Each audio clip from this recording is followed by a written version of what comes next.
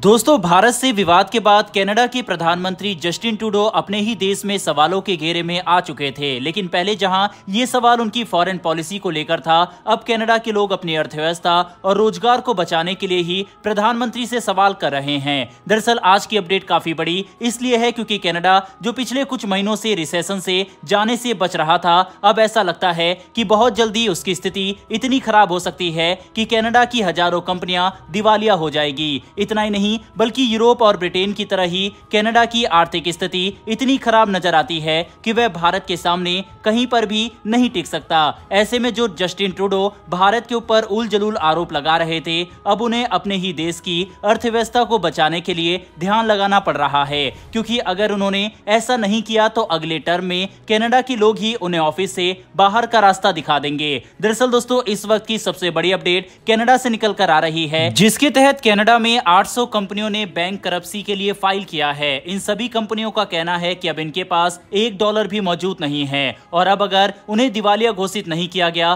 तो ये कंपनियाँ कुछ भी नहीं कर सकती। साथ ही इन कंपनियों की हालत इतनी खराब है कि उनके पास अपने जनरल ऑपरेशन करने तक के भी पैसे नहीं बचे, जिसमें अपने कर्मचारियों की सैलरी और बिजली के बिल भी नहीं दिए जा सकते। 800 कंपनियों का एक साथ दिवालियापन घोषित करना इस बात को दर्शाता है कि कनाडा की अर्थव्यवस्था बहुत बुरी स्थिति में है। हैरानी की बात तो यह है कि नार्सो कंपनियों ने खुद को दिवालिया घोषित करने का आवेदन इसी साल जनवरी में किया है। यानी कि साल के शुरुआत के पहले एक महीने में ही इतनी बड़ी संख्या में कंपनियों का खुद को दिवालिया घोषित करना कनाडा की बहुत ही कमज़ोर अर्थव्यवस्था को साफ़ तौर पर दर्शाता है। वहीं पर अगर हम इस आंकड़े को इस साल 2024 से तुलना करके देखें तो 2023 से लेकर अभी तक कनाडा में बैंक करप्सी फिलिंग की संख्या में 40 परसेंट की बढ़ोतरी देखी गई। बता दें कि कनाडा में फ़िलहाल ये हालात एक ऐसे समय पर देखे जा रहे हैं जब कनाडा की सरकार ने कोरोना काल में हुए नुकसान से बचने और अपनी कंपनियों की मदद के लिए पैंतालीस हज़ार डॉलर का इंटरेस्ट फ्री लोन सभी कंपनियों को दिया था, जिससे ये कंपनियाँ अपने डेली ऑपरेशन जारी रख सके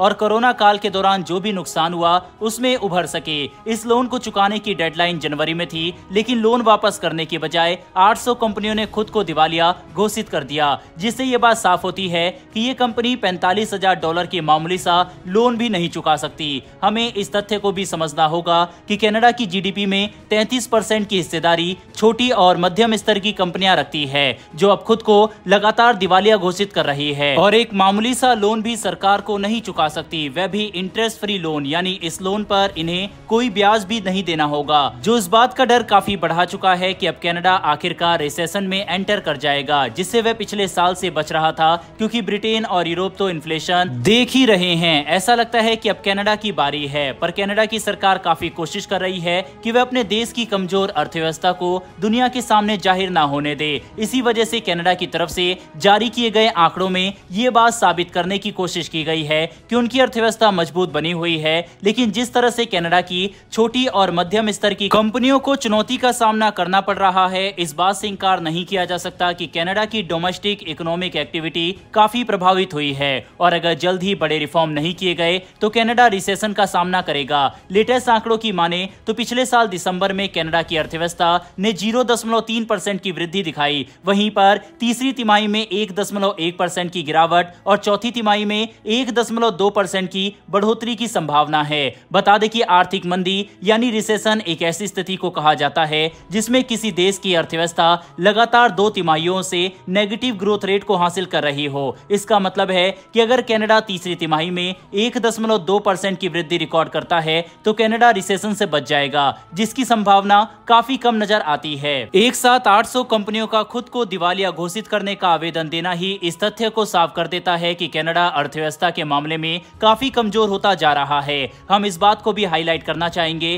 कि कनाडा की इकोनॉमी की यह स्थिति एक ऐसे वक्त पर हुई जब भारतीय छात्रों और वर्किंग प्रोफेशनल ने कनाडा की बजाय दूसरे देशों में जाना ज़्यादा सही समझा और भारत से कनाडा जाने वाले छात्रों की संख्या में भारी गिरावट देखी जा रही है, जिससे कनाडा को कई मिलियन डॉलर का नुकसान होगा और ये सब कुछ कनाडा में ओवरऑल इकोनॉमिक एक्टिविटी को बड़ा नुकसान पहुँचा रहा है। कुल मिलाकर समझने की कोशिश करें तो कनाडा के प्रधानमंत्री जस्टिन टूडो ने अपने व्यक्तिगत फ़ायदे के लिए कनाडा की इकोनॉमी और फॉरेन पॉलिसी को भारी नुकसान पहुँचा दिया है, जिसकी वजह से आज अगर वह चाहे तो भी भारत से मदद नहीं मांग सकता और इसका बड़ा प्रभाव कनाडा को देखना पड़ रहा है। ऐसे में आपको क्या लगता है कि क्या कनाडा आर्थिक मंदी का दौर देखेगा या फिर किसी तरह से जस्टिन टूडो अपने देश को इस नुकसान से बचाने में सफल होंगे, इस पर अपनी राय कमेंट बॉक्स में लिखकर ज़रूर बताइएगा। फिर मिलेंगे ऐसी एक नई वीडियो के साथ। धन्यवाद। जय हिंद।